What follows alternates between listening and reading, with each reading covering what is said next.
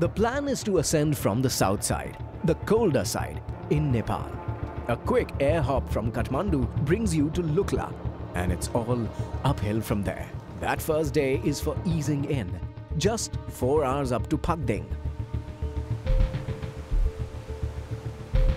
Trekking up as the Dudh Kosi river rambles down will get you to Namche Bazaar, the Sherpa capital. Day 2 is an 8-hour hike and twice as hard.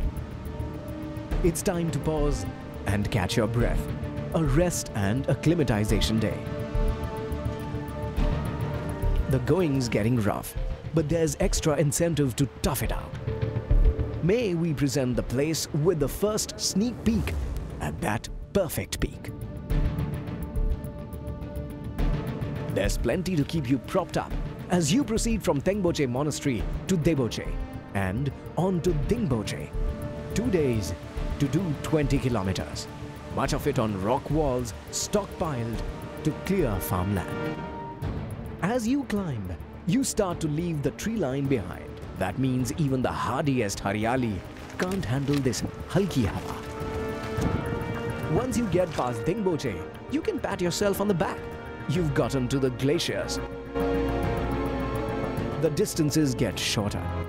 Only 6 kilometers to Lobuche. But remember, your breath is getting shorter too.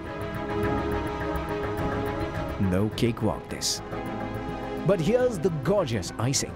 Lobuche to Gorakshep and you've arrived at base camp.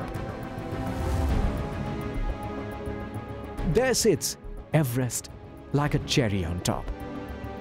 And after all that walking, you can have two cakes and eat them too.